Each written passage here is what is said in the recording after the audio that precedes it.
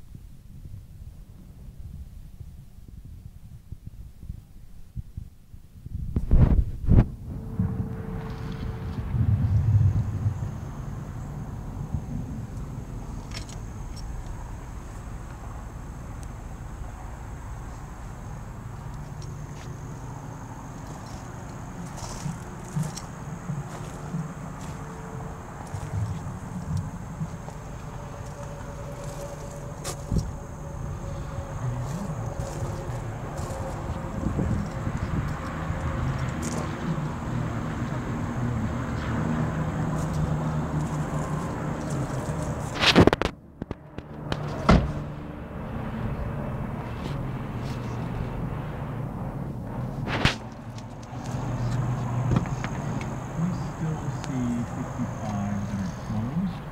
Uh, there are about 218 registered child care centers across the state. We still